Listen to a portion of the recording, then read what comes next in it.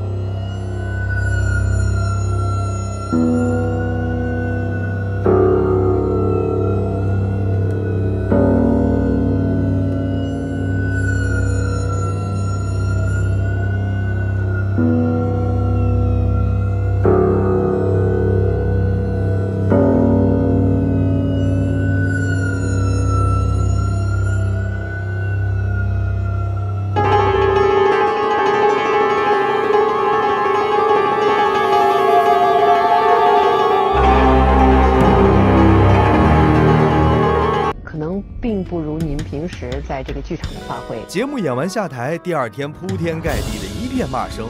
堂堂德云社班主演的是个什么玩意儿？这也能叫相声演员？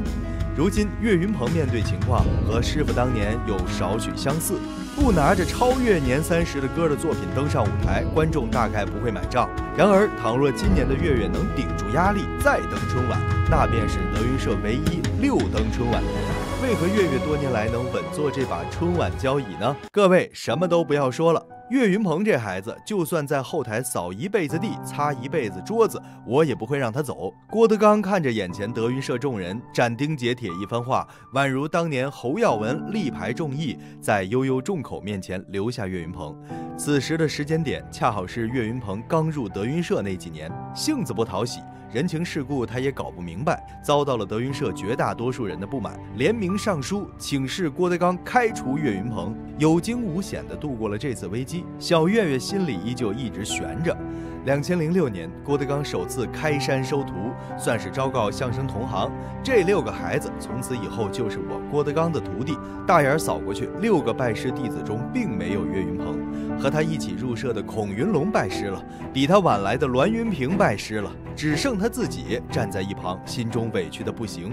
那时候他心中如何想，我们不得而知，只知道二零零六年之后的几年，岳云鹏突然变了，疯狂起来。直到某天，演员找到了郭德纲，把岳云鹏调到我们后面吧，我们接不住他了。这一年的岳云鹏仿佛从师傅手中接过了衣钵，拿着无形的三寸刀头，自此大劈大砍。白蛇传、歪唱、汾河湾学唱歌，他张嘴就来。郭德纲看着眼前的岳云鹏，便知道这孩子完全开窍了。两千零九年六月十二日，岳云鹏拜师郭德纲。二零一零年七月，岳云鹏举办个人专场。这是德云社云字辈的首个个人专场。八月，徒弟退社，德云社停演一个月。同年九月十二日，德云社复演，也是这个时间点，郭德纲决定力捧岳云鹏，我要他红。郭德纲作为班主，金手指点了岳云鹏。很快，岳云鹏登上了第一年的央视春晚。独特的相声风格，一改大众对相声古板印象。原来相声也可以耍贱卖萌，效果不错，自然得到春晚青睐。和孙老师的积极准备，不敢松懈，务必要做到最好，让观众满意是目标。又一次的审核下来，岳云鹏、孙越从来是靠作品说话。今年春晚竞争激烈，岳云鹏、孙越心中也没底，各大相声社团都派出精兵进。